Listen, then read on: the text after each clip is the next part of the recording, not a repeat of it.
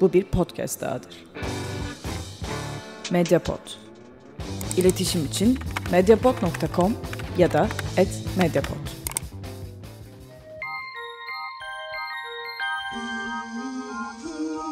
Felsefe tarihini incelemek için önce felsefe nedir sorusunu yanıtlamak gerekiyor ki bu da çok zor bir soru.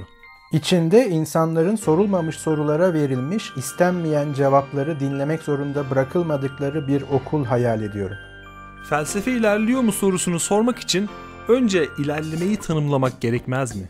Felsefe, öğretilerden, dünya görüşlerinden, mitolojik dinsel dünya tasavvurlarından, kozmogenilerden farklıdır. Peki nedir bu fark? Ben Tansel Erdem Yılmaz.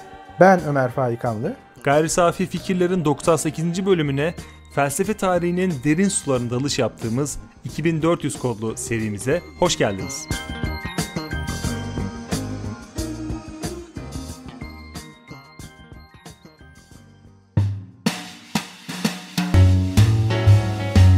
Hayatın denklemleriyle bilimin teorisi. Gayri safi fikirler.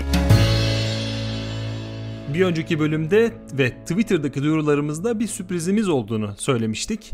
Her sezon bölümlerimiz arasında ufak seriler serpiştiriyoruz. Epistemoloji 101 serisiyle epistemolojinin, bilim ve bilgi felsefesinin köklerine inmeye çalışmış ve bu konuda özellikle felsefe tarihinde de böyle bir kökensel inceleme yapmamız için bolca mail ve yorum almıştık.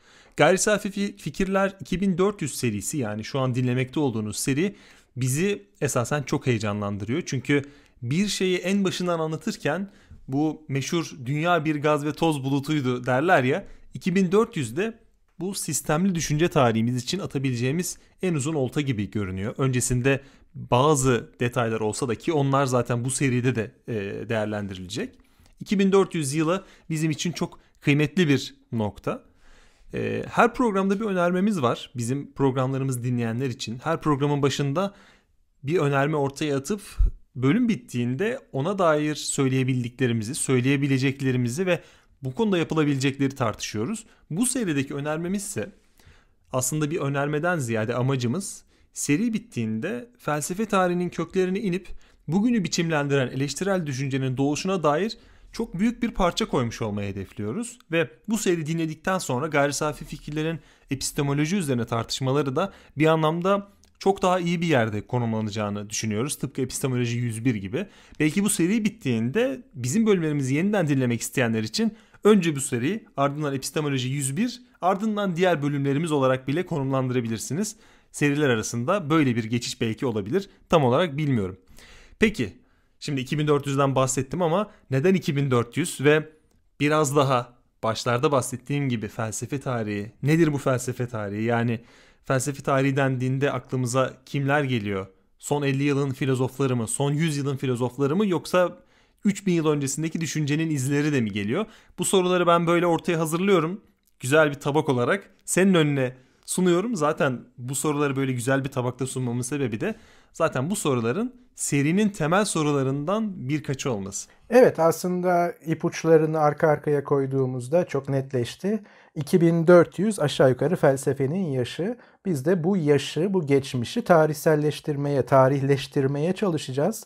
Tabii ki aslında daha önce tarihleştirenlerin ortaya koyduğu verilerden, perspektiflerden faydalanarak. Ama biz kendi geçmişimize veya kendi tarihimize bir böyle çengel atalım. Çünkü son birkaç programdır böyle defaatle gündeme getirdik ki felsefenin tanımlarından biri temel varsayımları açığa çıkarmak ve onları kritik etmek en azından felsefenin böyle başladığını veya felsefe etkinliğinin veya da felsefenin aktüalitesinin böyle başladığını birkaç kez söylemiştik ve bu bağlamda hemen felsefe tarihinin temel varsayımlarına bakmakta fayda var. Felsefenin aktüalitesinin 2400 yıl önce başladığını söyledin ama 2400 yıl öncesinde felsefe tarihine baktığımızda Platon'un devleti görülüyor. Yani 2400 olarak imlenen şey aslında bu. Peki bizim orada koyduğumuz ana nokta nedir? Bunu belki dinleyicilerimizi biraz daha e, netleştirmek, belki bir kişi ya da belki bir olay, belki bir kitap ya da bunların hiçbiri değil. Aslında bir isim, bir filozof ismiyle biz başlayacağız. O da Thales. Aslında hepimizin genel kültürden en azından bildiğimiz bir isim. Aşağı yukarı milattan önce 6. yüzyıldaki doğa felsefesinde Aristoteles'in de anlatımıyla ilk filozof, ilk doğa filozofu olarak taçlandırılan Thales'le başlayacağız. Yani evet aslında 2600 yıl belki daha da fazla bunun üzerine de konuşacağız. Neden 2400 veya 2600'de 3000, 4000 değil? Bunu da üzerinde duracağız ama bizim sembolik başlangıcımız aslında evet Platon'u böyle bir sembol olarak oraya koyuyoruz. Ve bu da takribi tabii ki oturup her yılı saymıyoruz. Kaldı ki saysak bile ancak bugünkü takvim sistemimizi kullanarak saymış oluruz. Yani bugüne göreli bir tarihlendirme yapmış oluruz. Ama en azından böyle bir sloganvari veya da bir seri ismi olarak Gayri Safi Fikirler 2400 gayet şık durdu. En azından seninle benim fikrim böyleydi. Umarım dinleyicilerimiz de böyle düşünür. Ama tam bıraktığımız noktadan gidersek Şimdi felsefe tarihinin temel varsayımları ne? Şimdi burada tabii ki şöyle bir altını çizeceğim bir nokta var. Felsefenin geçmişi veya felsefenin tarihinin değil, felsefe tarihi tamlaması. Bu bir araştırma programı. Yani sanat tarihi gibi ya da siyasal tarih gibi ya da iktisat tarihi gibi felsefe tarihi dediğimiz şeyi nasıl anlamlandırıyoruz veya ne anlıyoruz? Şimdi burada analitik bir müdahale yapmak gerekiyor tabii ki. Geçmişle tarihi birbirinden ayırmalıyız.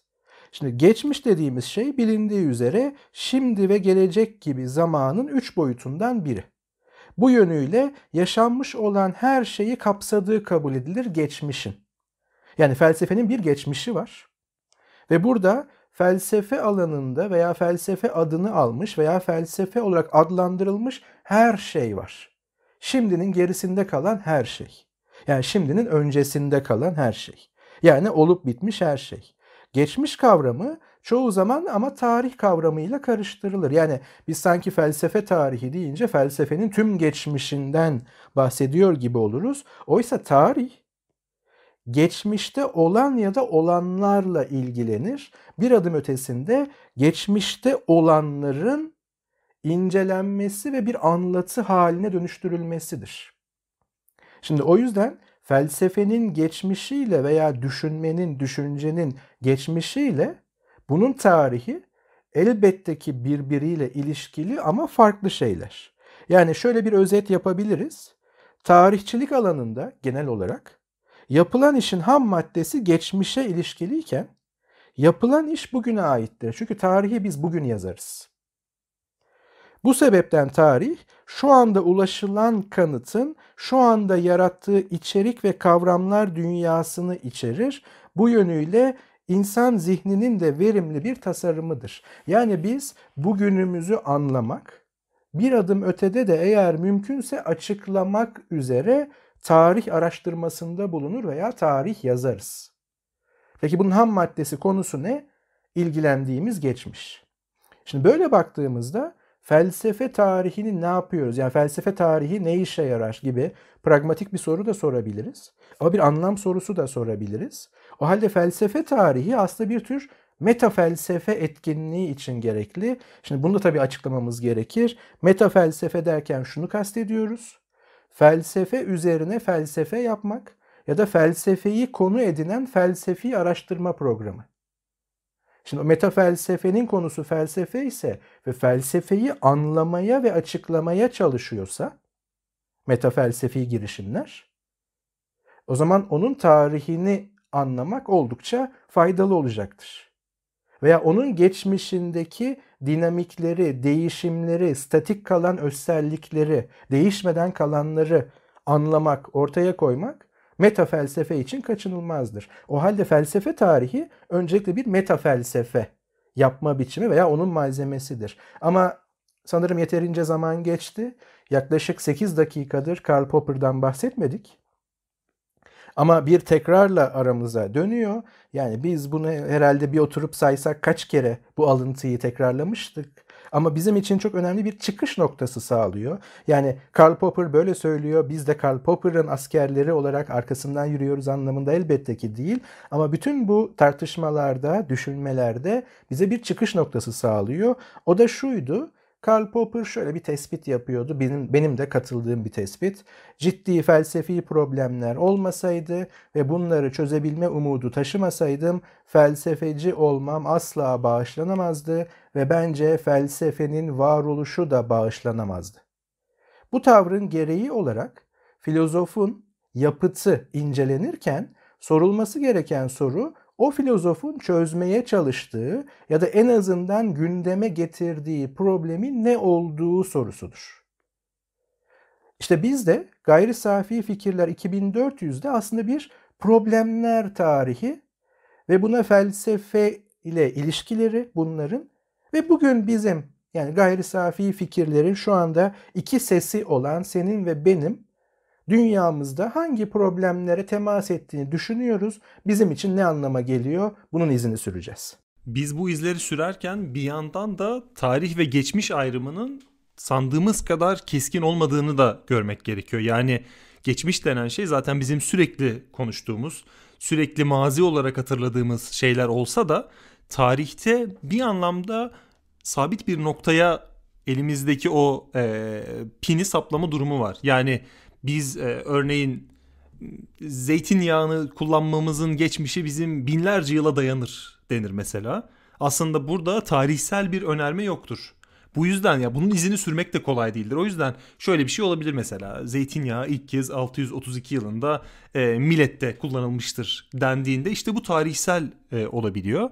Bir yandan bu bunu bir zayıf önerme olarak görebiliriz. Ancak felsefi önerme ya da tanım ya da bir sistem oluşturduğumuz zaman, o sistem oluşturulduğu zaman e, zaman ve mekanın belirli bir nokta ve o dönemki ya da o zamandaki belirli bir koşul altında e, belirli bir yere konumlandırmamız gerekiyor. İşte bu durumda aslında tarih biraz zaruri gibi. Yani felsefe tarihi dediğimiz şey biz felsefi kuramları tartışıyoruz. Felsefi görüşleri tartışıyoruz.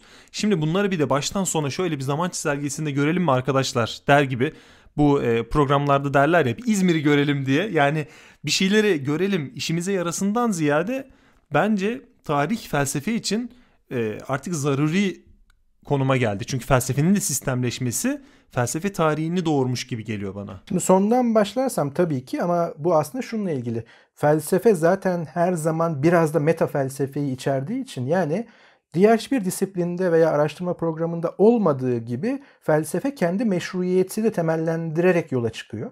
Her seferinde belki de veya bu meşruiyete katılarak yola çıkıyor ve bunu yapabilmesi için meta felsefi bir konuma çıkması lazım. Yani felsefeyi konu edinen felsefe olması lazım. Oysa mesela fiziği konu edinen bir fizik söz konusu olamaz.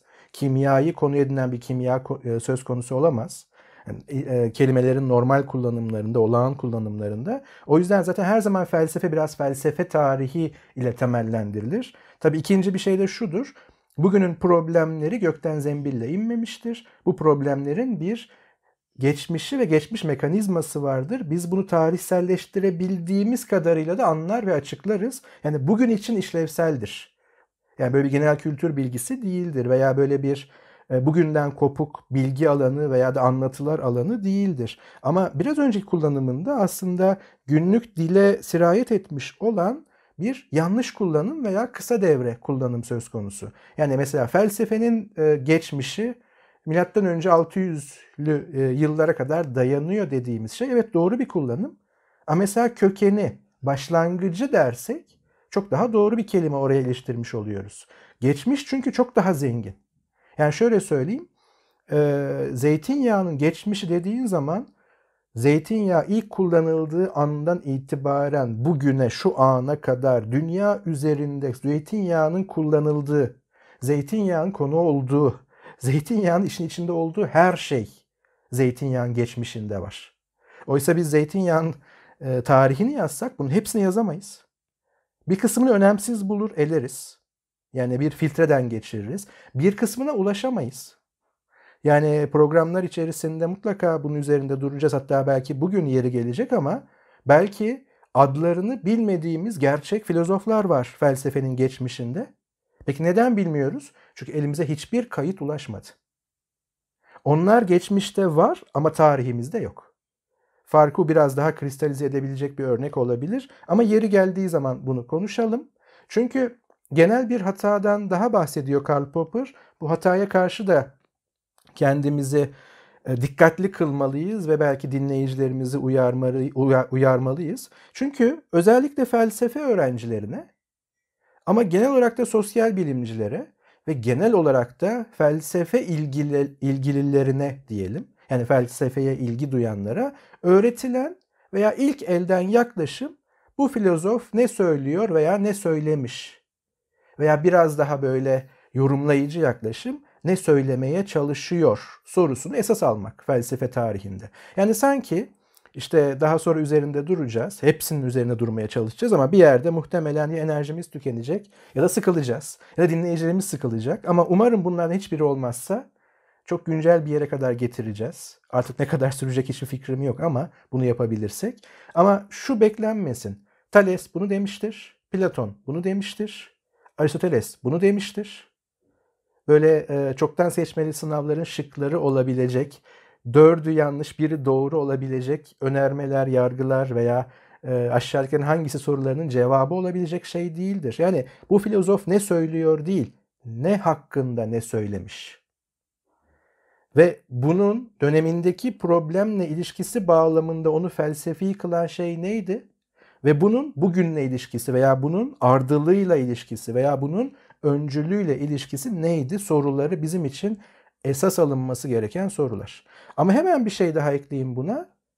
Yine de genel olarak felsefe tarihi sanki bir kronoloji gibi sunuluyor. Tüm tarih çalışmalarında kronoloji olmazsa olmazdır ama tek başına hemen hemen hiçbir işe yaramaz. Hem kronoloji olmaz dedin hem de Aristoteles bunu dedi, Platon bunu dedi. İleri gidelim Kant, Hegel bunu dedi. Bu da bir felsefe tarihi olarak görülüyor.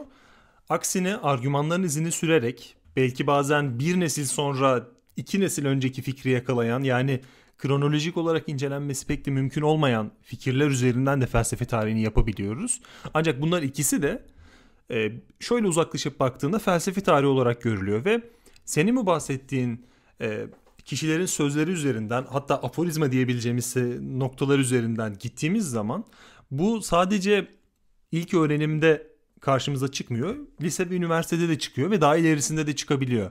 Yani felsefe tarihini hızlıca anlamak için yapılan şeyler bunlar. Belki sınavlar için. Ancak örneğin üniversite döneminde de felsefe tarihine ilgilenmiş biri ya da daha ileri yaşlarında Aristoteles ne demiş? Aristoteles'in hayatını anlatan 3 cümle. Aristoteles burada doğmuştur, şunları söylemiştir dendiğinde felsefe tarihine biraz hakim olmak istiyor. Burada bence bir büyük problem çok geniş bir tarih olduğu için, çok da girift yapıya sahip olduğu için öğrenmesi pek de kolay değil felsefe tarihini. Bu yüzden Aristoteles şunu demişti, bunu demişti deniyor ve bu da bir felsefe tarihi olarak görülüyor ve bence bunda bir sakınca yok çünkü örneğin kendi açımdan düşünüyorum Aristoteles'in bazı konularında fikirlerini öğrenmek istiyorum. Herhangi bir konuda belki benim bir cümle işime yarayacak. Aristoteles'in ona dair tüm eserlerini okumak zor gelebiliyor. Bu yüzden belki de bu hap şeklinde bilgiler ortaya çıkıyor. Bunun yanında bir adım geriye döneceğim. Senin o bahsettiğin bazı filozoflar vardı. O filozofları biz hiç bilmiyoruz çünkü isimleri yoktu. Aynı şekilde felsefe tarihinde de belli problemler, belli yaklaşımlar birleşerek o tarihi oluşturuyor. Bir yandan da işte bu Aristoteles, Platon, Kant, Hegel bunların ürettiği fikirsel çözümler, belki felsefede çözümler olarak bunları adlandıramayız ama ortaya koydukları fikirler de bir tarih skalasına oturtulduğunda en azından insanlar bunların daha önceden tartışıldığını bildiğinde felsefenin de bir ilerleme olasılığı ortaya çıkıyor. Ben bunu doğa bilimleri için de düşünüyorum. Örneğin ben şu an e, X nöronu üzerine çalışmalar yaparken dünyanın başka bir yerinde bunu çalışan biri var mı bunu bilmiyorum. Belki bunu biliyor olsam ortak bir çalışma yaparak çok daha büyük yerleri ilerleyebileceğiz. Ancak ben bir yıl boyunca çalışıyorum. O 11. ayda çalışmasını yayınlıyor ve benim çalışmam bir anda nereye gidiyor bilmiyorum. Yani bunun bir benzeri de ben şu an e, fenomenoloji nedir diye oturup kendimce bir kavram ortaya atacağım zaman Husserl'den tut da sonrasında gelecek nice büyük e, filozof ya da ortaya atılmış büyük teorileri görmezden geliyor olacağım. E, muhakkak ama şöyle bir ayrımı yine yapmamız gerekiyor. Bunu birkaç kez tekrarlamıştık. Bu geçmiş ve tarihsel gerçeklikle de kesinlikle örtüşen bir şey. Gerçekliğin kendisinde farklar varsa bu farklı kavramları, terimleri gerekli kılar onu kavrayabilmek için. Yani biz tek bir terimle bütün bu farkları aynılaştırarak kavramaya çalışırsak nüansları kaybederiz ve o mekanizmayı anlayamayız. En azından metaforik olarak bu mekanizma terimini kullanmam doğru olursa. Şimdi buradaki sorun şu. Yani genel tarihten bir örnek vereyim sonra felsefe tarihinden bir örnekle bunu ilişkilendirmeye çalışayım. Ee, Fransız devrimi hangi tarihte yapılmıştır mevcut, e, hangi tarihte gerçekleşmiştir mevcut e, takvim ölçülerimize göre. Hemen cevap vereyim 1789. Bu bilgi değil. Bu kronolojik bir tarihlendirme, bir zaman koordinatına iğneleme bir olayı. Ee, tabii ki önemli. Çünkü sonrası öncesini tartabilmek, önceki olaylar, sonraki olaylar silsilesini kurabilmek için benim o koordinata ihtiyacım var. Ama kendi yaşamında düşün. 1789 Fransız devriminin tarihidir. Yani e, date'idir anlamında tarihidir dediğimizde bu ne için kullanabilirsin ki hayatında? Dediğim şey haricinde. Şimdi Fransız devriminden felsefe tarihine gelelim. İlk filozof olarak Thales'in ismi öne çıkmaktadır. Yani şöyle bir soruyla karşılaşırsan aşağı yukarı hangisi genel felsefe tarihi okuması açısından ilk filozof olarak değerlendirilmektedir? Thales, Platon, Aristoteles, Sokrates, e, Kant. Cevap veriyorum Thales. Toplam sorularda bir soruya ve o kurgulanmış sistem içerisinde çoktan seçmeli de cevap verebilmen ne işe yarayacak o işin pratiği hariç? Oysa felsefe tarihi bir araştırma programı. Ki günümüzde de e, pek çok departmanın felsefe bölümünün veya enstitüsünün bir alt bölümü ve aynı zamanda bir alanı, bir araştırma alanını etiketleyen bir isim. O yüzden felsefenin geçmişiyle felsefe tarihi bu anlamda farklı. Felsefe tarihi bir araştırma programının adı. Şimdi bizim sorumuz şu, bunu niye yapıyoruz? Çünkü felsefe ve düşünce tarihi problemler ve çözüm önerileri ve çözümler tarihidir. Böyle bakarsak. Bugün biz problemlerle karşılaşmıyor muyuz? Yani bütün felsefi problemlerimizi veya felsefenin dahil olabileceği bütün problemlerimizi çözdük mü? Çözmediğimize göre bizim elimizde hala felsefi problemler var veya felsefenin uygulanabileceği, aydınlatabileceği veya çözmek konusunda bize adım attırabileceği problemler var. O zaman biz meta felsefe konumunda felsefeyi daha iyi kavrayabilmek ve bu problemleri daha iyi kavrayabilmek için onun geçmişini tarihleştirmek durumundayız ki ortaya bir çözüm veya daha derinleşmiş bir kavrayış sunabilelim veya açığa çıkarabilelim. O yüzden baş söylediğim tekrarlamış olayım. Her felsefi aktüalite meta felsefi konumunda bir felsefe tarihi kavrayışı veya da bilgisi içerir. Ama sadece verileri değil. Demin söylediğim şey veri seviyesindedir. Yani Thales ismi. Ama şöyle bir soru hemen gündeme gelecek ki bizim 2400'de de e, gündeme gelecek. Neden Thales ilk filozof da başkası değil? Neden oraya konumluyoruz? Coğrafi ve zamansal olarak. Mesela bunun cevabını verebildiğin zaman veya cevaplarından, cevap önerilerinden, cevap ihtimallerinden birini öne çıkartabildiğin zaman sen gerçek anlamıyla felsefe tarihle işgal etmiş oluyorsun. Ama buna vereceğin cevap aynı zamanda bugün felsefeyi nasıl kavradığını veya nasıl kavrayacağını da çerçevelemiş olacak. Ki buraya verilecek yanıt da bir malumat olabilir. Yani bizim 71. bölümümüzde anlattığımız bilgi, malumat ve veri farkı bölümü e, tam biz bu konuyu tartışırken belki araya sızıp dinlenilmesi gereken bölümlerden biri. Çünkü bu tartışmanın tam anlamıyla çerçevesini oluşturuyor. Yani Aristoteles şunu demişti, Platon bunu demişti, Thales ilk filozoftu.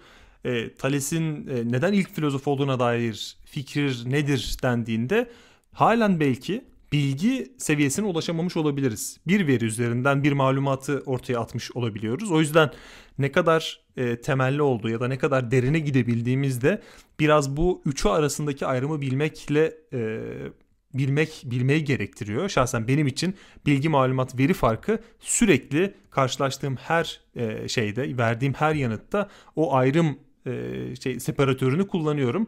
Belki de 71. bölümü ufak bir buradan çengel atmış olalım. Evet aynı zamanda şöyle bir hipotez de öne sürebiliriz. Felsefi hipotez diyebiliriz buna.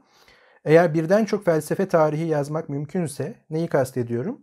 Felsefenin tek bir geçmişi var. Ama onu birden çok şekilde çeşitlendirerek tarihleştirmek mümkünse o zaman şu epistemolojik soru kendiliğinden diğer her çeşitlenmenin vuku bulduğu yerde olduğu gibi açığa çıkacaktır. O da nedir? Hangisi doğru? Hangi tarihleştirme felsefenin geçmişine daha uygun veya onu daha çok yansıtan veya daha derin yansıtan felsefe tarihi okuması veya felsefe tarihi çalışması. Ama bu şu anlama gelmiyor. Mutlaka ki bir tanesi doğru değil. Farklı perspektiflerden ele almak mümkün. Çünkü farklı problemlerin tarihi, felsefenin problemleri statik değil. Bu bir fragman olsun ileriye dönük.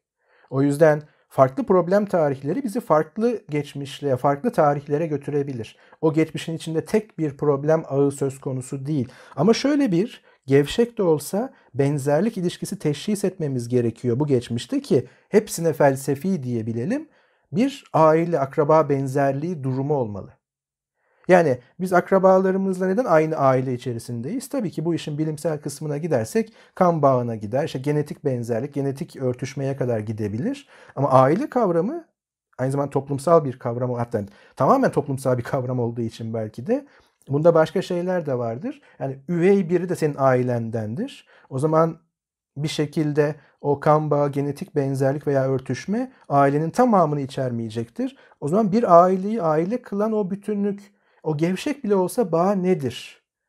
Hani biz bir aile gibi olduk dediğimiz zaman neyi kastediyoruz gibi. Şimdi bu basit soruyu gündelik dili felsefenin geçmişine gönderelim. Geçmişine uygulayalım. Felsefenin geçmişinde nasıl bir benzerlik, nasıl bir gevşek de olsa bağlantı var ki biz bunlara felsefe diyoruz ama mesela başka bir şeye sanat diyoruz. Veya başka bir şeye teoloji veya din diyoruz. Veya başka bir şeye siyaset diyoruz. Veya başka bir şeye ikinci fragman geliyor. Öğreti diyoruz. Yani hangileri öğreti, hangileri felsefe. Dolayısıyla mesela bir öğreti felsefenin geçmişine ait midir? Hayır, o öğretiler geçmişine aittir. Onun kendi bir tarihi vardır. O zaman şöyle bir soru gündeme gelecek.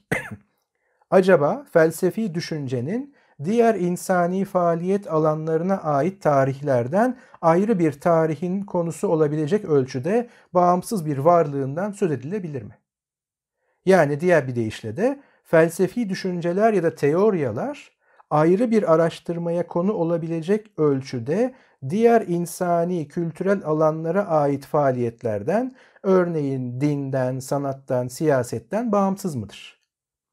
Yani geçmiş bildiğimiz gibi şu andan önce olup biten her şey bu her şeyin içerisinde ayrı bir hat felsefe, ayrı bir hat sanat, ayrı bir hat bilim, ayrı bir hat din veya bu daha içlerinde çeşitlendirilebilir. Bunlar birbirine asla karışmıyor.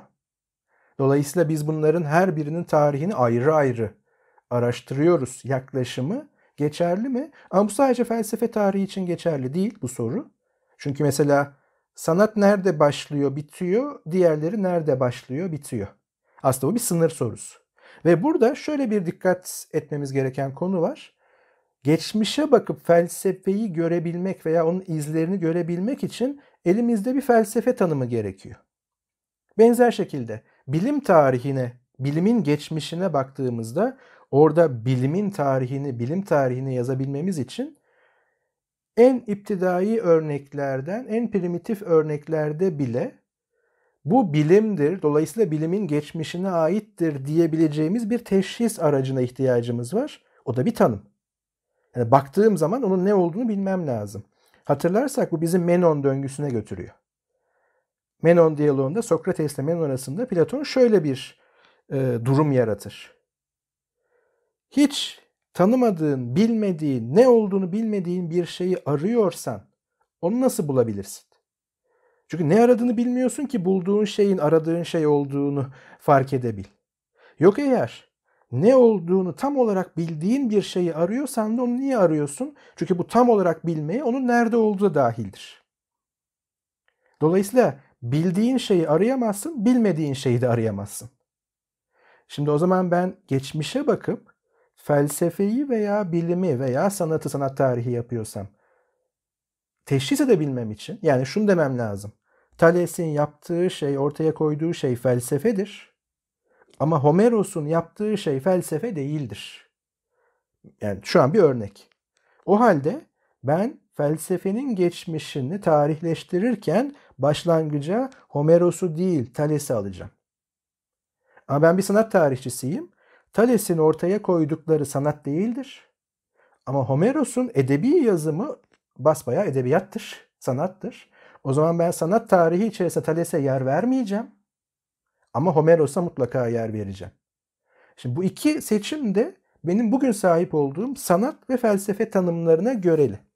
Şimdi burada bir tehlike var. Buna da anakronizm diyebiliriz.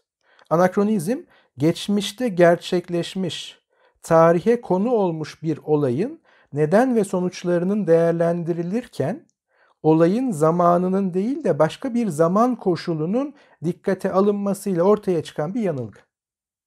Yani ben bugünün tanımıyla bir bugünkü bir fenomenin, bugünkü bir etkinliğin tarihini yazmaya çıktığımda ben 2020'nin felsefe tanımıyla belki de milattan önce 600. 6. yüzyılın düşünce dünyasından felsefe yakalamaya çalışıyorum. Bugün geliştirdiğim bir oltayla 2500 yıllık balık yakalamaya çalışıyorum. Şimdi burada anakronizm var mı ve mümkün mü bunu yapabilmek? Bu da bir fragman olsun. Ama felsefe tarihi işte böyle arka arkaya filozofun ismini saymak olmadığını yaklaşık işte yarım saatlik bu konuşmamız bile bir girizgahtayız şu anda. 2400 tre 1'deyiz. Hatta belki tre 0 girizgah olduğu için. Yani prolog yapıyoruz daha. Bu bile gösteriyor. Ama mesela hemen bir soru daha gündeme getireyim. Acaba felsefede bir evrimden veya düzenli bir ilerlemeden söz edilebilir mi? Yani eğer Thales'le başlatacaksak Thales'ten Jije'ye kadar felsefe dediğimiz alanda bir evrim ve bir düzenli ilerleme oldu mu? Ki burada bile şöyle bir şey karşımıza çıkacak. Efendim Zizek de filozof mu? Hangi tanıma göre? Thales filozof mu? Hangi tanıma göre? Ama başlangıç ve günceli hangi noktalara iğnelersek iğneleyelim bunun arasında bir ip var mı? İp gerebiliyor muyuz? Bir zincir oluşturabiliyor muyuz? Şimdi bu soru şu. Felsefe ilerliyor mu veya evriliyor mu? Yoksa felsefi teori ve düşünceler gelişi güzel ve olası bir tarzda birbirlerini takip mi etmekteler? Sadece kronolojik ilişki mi var? Yani Thales bunu demişti. O zaman bu söylenebilir. E de bunu söylüyor. Bakın arada 2400 yıl koyuyorum. Bir de ardılları koyun. Yani rastgele o onu söylemiş, o onu söylemiş. Neden söylemiş oldukları ayrıca incelenebilir ama o psikolojik temellere kadar gider, sosyolojik temellere kadar gider. Oysa yine aramızdaki üçüncü şunu söylüyor Karl Popper. Gerçek felsefi problemlerin kökü her zaman felsefeye ait olmayan alanlardaki önemli sorunlara dayanır. Kök yok olduğunda onlar da çürüyüp gider. Problemlerin kök saldığı alanlara örnek olarak da politika, sosyal toplu yaşam, din, evren bilim, matematik, doğa bilimler ve tarihten söz etmiştim diyor Karl Popper. Ama mesela bunu aldığımızda o zaman felsefe tarihini bunlarla ayrıştırabilir miyiz? Çünkü felsefenin problemleri zaten buralardan geliyor. Yani ben antik Yunan genel tarihini bilmeden onun felsefe tarihini kavrayamam. Ama o zaman felsefe tarihinin genel tarihten farkı ne olacak? Hani önce sen şunları bir oku. Sonra vakit gelirse felsefeye gelirsin gibi bir durum oluşacak. O zaman bırak gayri safi fikirler 2400'ü. Yani e, onun yanına 6-0 koysan bu süreç zarfında ve bir podcast formatında biz bu işi bitiremeyiz. Oysa cilt cilt felsefe tarihi kitapları yazılıyor fiiliyatta. O zaman biz bazı cevaplar da verelim. Hep bir soru soracağız.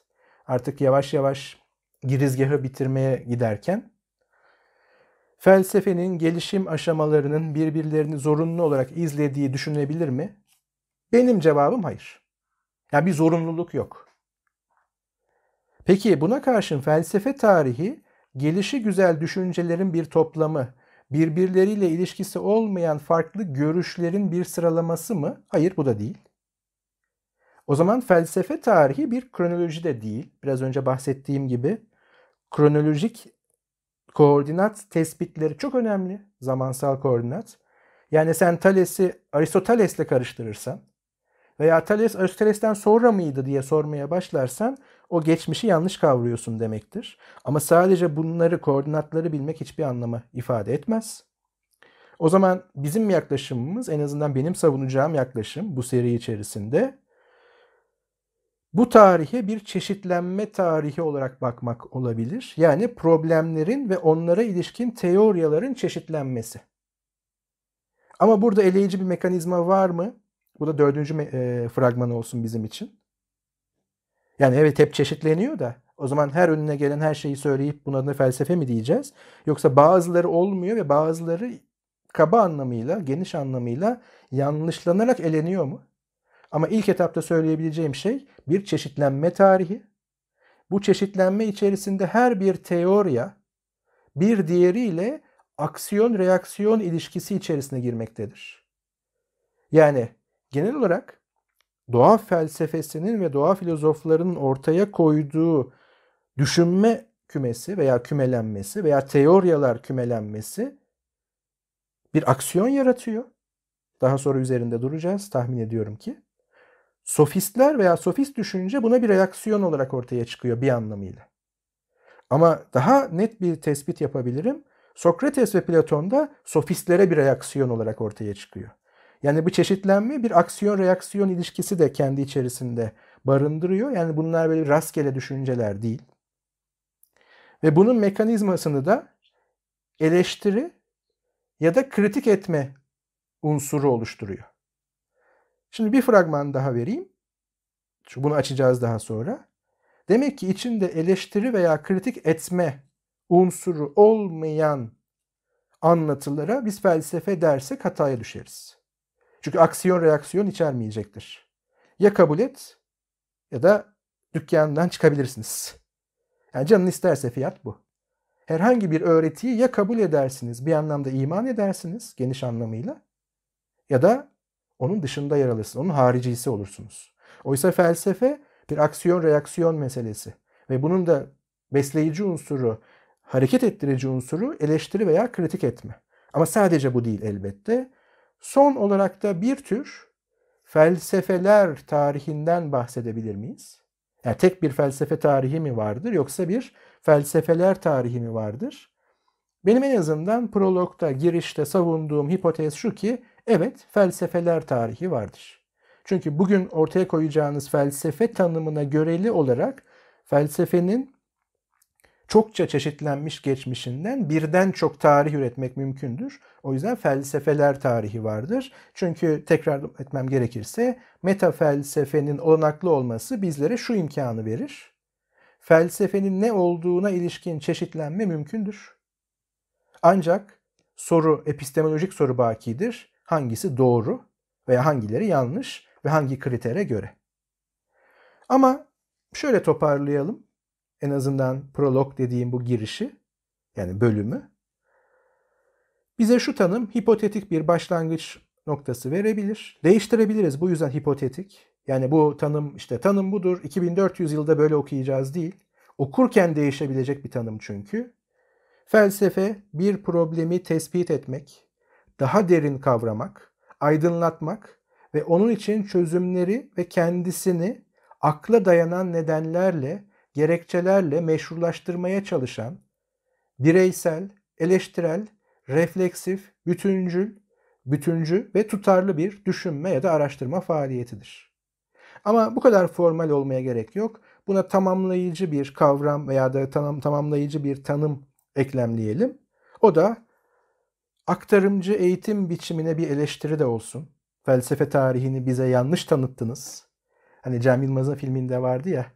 Amerikan sineması lafım sana uzaylıları bize yıllarca yanlış tanıttınız. Aktarımcı eğitim hepimizin bir şekilde içinden geçtiği çeşitli dönemlerde içinde insanların sorulmamış sorulara verilmiş istenmeyen cevapları dinlemek zorunda bırakılmadıkları bir okul hayal ediyorum diyor Karl Popper. Tekrar etmeye değer bir hayal. İçinde insanların sorulmamış sorulara verilmiş istenmeyen cevapları dinlemek zorunda bırakılmadıkları bir okul hayal ediyorum. Bu hayale göre felsefeyi yani filozofyayı tekrar adlandırmak gerekirse filoaporia adı önerilebilir. Aporia terimi Aristoteles tarafından öznenin yani insanın düşüncesinde isteme bağlı olmaksızın ortaya çıkan ya da toplumdan yahut bilgelerden edinilen, saygın kabul edilen inançlardan türeyen bağdaşmazlıklara bağdaşmazlıklarla ilgili kafa karışıklıkları için kullanılan bir terim bir boyutuyla. O halde felsefe o saygın inançların ya da doksaların temel varsayımlarını açığa çıkarmak ve onları kritik etmekle başlar. Bir yerlerde felsefenin geçmişinde bir başlangıç varsa tarihleştirilebilecek olan işte bu temel varsayımları eleştirel olarak açığa çıkaran ilk noktayı aramak gerekir. Çok mu önemlidir ilk nokta? Açığa çıkış koşullarını anlamak için önemlidir. Yoksa onun ötesinde herhangi bir yerinden bu konuya dahil olup devam edebiliriz. Ama bir sonraki programa ve şu anda senin görüşlerine şöyle pas atayım. O halde felsefe, filosofya olarak ve filoaporia olarak dünya görüşünden, mitolojik dinsel dünya tasavvurlarından ve kozmogenilerden farklı bir şeydir. Öğretilerden farklı bir şeydir. Biz burada felsefe tarihini biraz da anlamlı kılmaya çalışan bir yorum yapıyoruz. Yani siyaset tarihi konuşan hiçbir podcast siyaset tarihi için siyasetin kökenine gidilmelidir. O yüzden siyaset tarihi vardır gibi bir açıklama yapmıyor ya da devletler tarihi üzerine çalışan biri yaptığı çalışmaları tırnak içinde rasyonalize etmek için belli yamalar yapmıyor. Biz felsefe tarihi ve özellikle sanat tarihi üzerine yorumlar yaparken bir anda ufak bir tedirginlik çöküyor. Felsefe tarihi var mıdır ya? Bunun tarihi nasıl olacak? Senin de dediğin gibi bunların zaten aralarında bir süreklilik var mı? Süreklilik yoksa bu nasıl olacak? Hatta sen iki soru sormuştun. Onları bana hatırlatabilir misin? Felsefe tarihinin e, ilerlemesi ve acaba birbirinden bağımsız olaylar kümesi mi diye. Ya şöyle e, tekrar ifade edebilirim aklımda kaldığı kadarıyla. Acaba felsefede bir evrimden veya düzenli bir ilerlemeden söz edilebilir mi? Ve bu zorunlu mudur? Zorunlu bir ilerleme adım mıdır? Yoksa bunlar gelişi güzel e, teori ve düşüncelerin olası her tarzda, olasılıklı her tarzda bir araya gelmesi ve çeşitlenmesi midir? Veya da açığa çıkması mıdır sadece? Burada bana kalırsa lineer bir ilerlemenin sanki her alanda, düşünsel alanda da olması gerektiğine dair bir ön kabul var. Yani ilerleme nedir diye baktığımız zaman aslında ilerlemiş olduğu düşünülen ya da faydalı, iyi olduğu ve daha iyi ilerlediği düşünülen şeyler bir yüzyıl sonra Aa, ilerlememiş aslında bir adım geriye gidilmiş. Yani örneğin yönetim biçimleri arasında baktığımızda da bir şeyin ileriye gitmesi var mı? Siyaset tarihinde ileri geri var mı? Ya da e, doğa bilimleri tarihinde ileri geri var mı? Bunların felsefe tarihine sorulmasının ana sebebi bana kalırsa felsefe tarihinin tam olarak özümsenememesi ve burada suçu bir yerlere atmaktan ziyade felsefe tarihinin e, biraz bulanık görünmesiyle ilgili. Ancak bana kalırsa sen anlatırken ben şunu düşündüm. Tarih çalışmaları yapılan ve kaynaklara dayandığı söylenen ana tarihler örneğin Osmanlı tarihi olabilir, Fransa tarihi olabilir. Bu tarihler de belgelere dayandığı söylenen tarihler felsefe tarihinden çok daha müphem. Çünkü Osmanlı tarihinde bir olayı inceleye olalım. 1741 yılında e, Rumeli'nde yaşanan bir olayı inceliyoruz. Bu olayın bugüne dek ulaşmış devlet kayıtlarına bakıyoruz ve bunu tarih olarak, tarih bilgisi olarak bir yerlere not düşülmüş 1850'lerde. Bunun doğru olduğuna nasıl eminiz? Örneğin devlet kayıtlarının her zaman doğru söyleyip söylemediğini nereden biliyoruz? Mesela şu bugüne baktığımızda bugünün dünyasında biz 50 yıl sonrasında devlet kayıtlarında yazmış hiçbir şeye güvenmeyiz. Bir de şöyle düşünelim. Azınlıklarla ilgili bir olaydı bu. O dönem yapı, yaz, yazılmış e, yerel bir gazeteye bakmamız gerekiyor ama hangi gazeteye bakacağız? Ya da biraz daha ileri gidelim. O dönemde devlet kaynakları bunları söylemiş, dış kaynaklar başka bir şey söylemiş. Dış kaynaklara bilgiyi veren kişinin daha sahih bilgi vermediğini nereden biliyoruz? Ya da o dönem seçilen gazeteleri bile bulamadık. Devlet kaynaklarına genel olarak güvenilmemesi ya da güvenilmemesinden ziyade şüpheyle yaklaşılması taraftarıyım ki bu Türkiye ya da Osmanlı tarihinde de ya da dünyadaki her yerin tarihinde de bu yaşanıyor.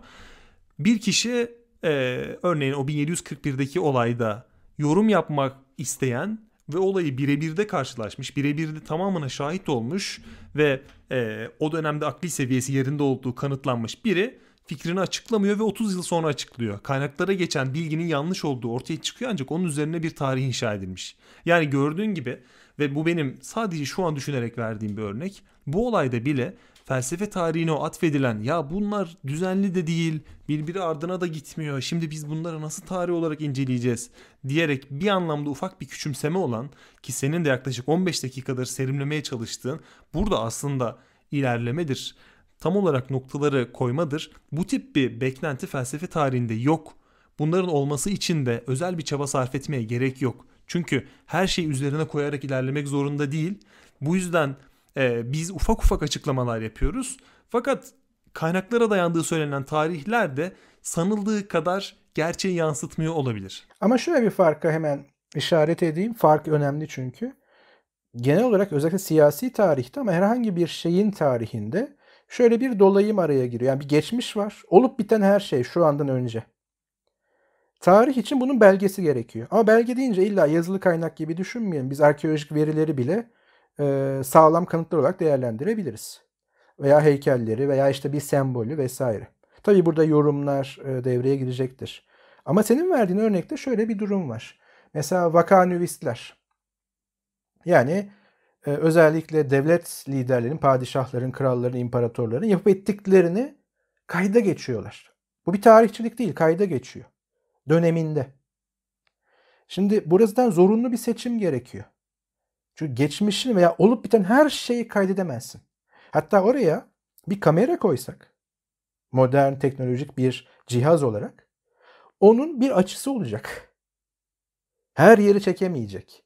Artı onun belirli bir bellek kapasitesi olacak. Bir yerde duracak. Belki ondan sonra çok heyecanlı bir şey oldu. Bunlar zorunlu sınırlar.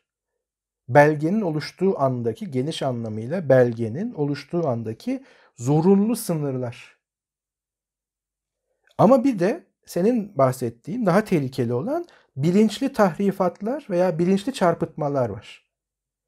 Şimdi zaten iyi tarihçi e, çapraz okumalarla veya karşılaştırmalı okumalarla bunu yenmeye çalışır. Onun da bir sınırı vardır. Mesela başka bir noktada mutlaka buraya geleceğiz eğer enerjimiz gücümüz yeterse. Acaba kadın filozoflar yok muydu?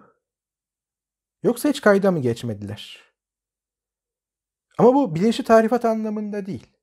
Belki de tabii ki çok küçük bir tesa yani olasılık ama onların metinleri kayboldu sürekli.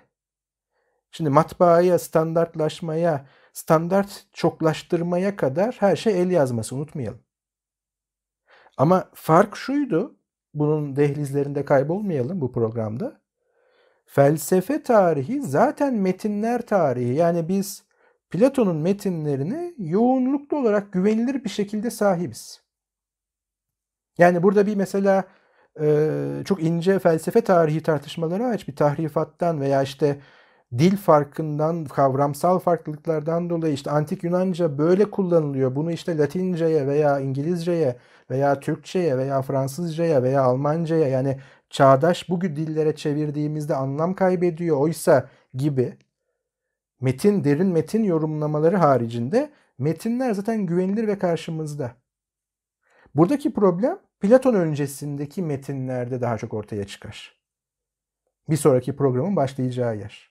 Çünkü Thales'in, Anaximandros'un, Anaximenes'in yani doğa filozoflarının veya o dönemin metinleri en azından felsefe adına olan metinleri fragmanlar halinde elimizde yani parçalar halinde. Biz buradan bütünsel bir resim çıkarmaya çalışıyoruz ve bazen uçlara savruluyoruz. Yani Thales'ten güncel bir fizikçi, müthiş bir bilim insanı, scientist çıkartabiliyoruz. Ya da diğer uca savrulup ya o da işte tanrılarla uğraşıyordu. Aslında teoloji içerisindeydi. Mitolojik bir düşünmeydi bu da diyebiliyoruz. Çünkü sınırlı sayıda kaynaktan, veriden büyük bir resim çizmeye çalışıyoruz. Yani karşımıza 3 tane nokta verilmiş. Bunları öyle bir birleştir ki anlamlı resimler çıksın diyoruz. O kadar çok çıkarırız ki hani tabii permütasyon, kombinasyon meselesi olacaktır. Hangisiydi hatırlayamadım ama olası tüm şekiller.